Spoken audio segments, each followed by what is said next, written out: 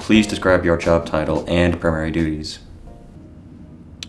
My job title was cashier, but my duties were outside of just the register were cleaning, um, I guess you could say order taking. What was your favorite part about working there? The working working there with the people and everything was just all around awesome because it they don't tolerate any bad attitudes, any slacking, things like that. They don't really don't. They're not big on that, and they'll let you go. So I feel like that made it created a, automatically created a better atmosphere for everybody because you had to be positive, you had to do your job, you had to make sure the customer was satisfied, things like that. How would you describe the application and interview process? The application, it was just a regular paper application. You go in and apply.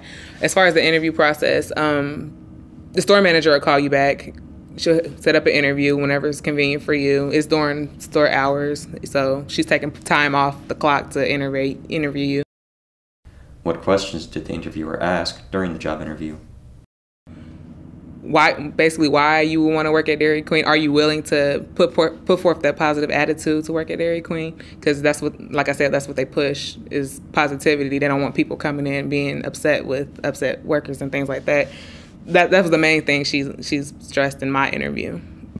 What other advice would you give to a job seeker looking to get employment? Expect to be on time. Um, they're they're not very lenient when it comes to things like that. Expect to if they're if you're on a schedule, expect to work. You don't expect to be able to just miss work, things like that. They're not lenient on things like that. Um, expect to be dedicated.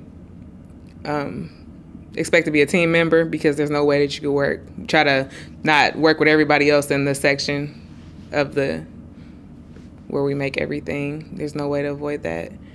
And um, be happy. Just smile. They're not really hard to please, actually. They're really not.